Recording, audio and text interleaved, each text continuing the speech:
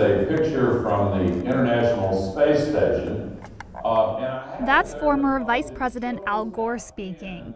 Gore participated via Zoom in a dialogue with Senator Max Baucus and director of the Max Baucus Institute, Sam Panarella.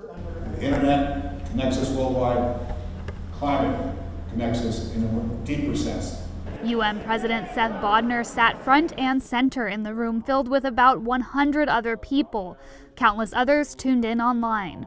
The topic well, it's one Baucus himself wasn't always too sure about.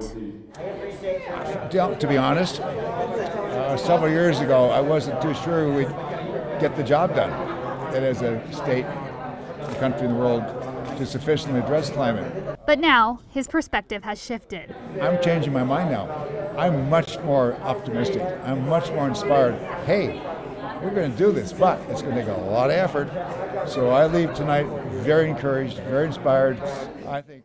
Gore arguably brought climate to the forefront of many minds with his 2006 book, An Inconvenient Truth, later developed into a documentary. At the event, climate change was localized with questions about public lands in Montana's eight federally recognized tribal nations. We've got to have a seat at the table so we can be part of the solution. Blackfeet Environmental Program Director Gerald Wagner drove to Missoula from Browning for the event. He's also the National Tribal Environmental Caucus Chair. I'm a member of the Amskapi Piikani tribe, the Blackfeet Nation, up Wagner told MTN News Native Americans need to be involved in solutions, even though they already face impacts of climate change. A lot of people can leave the hurricane, go up in the mountains, you know, leave the mountains, go down to the beach.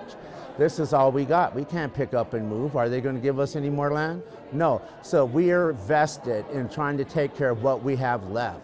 But the youth are ultimately what inspired this year's event. It was none other more than climate. Younger people care about it. So I thought I'd invite Al Gore to come and speak to us.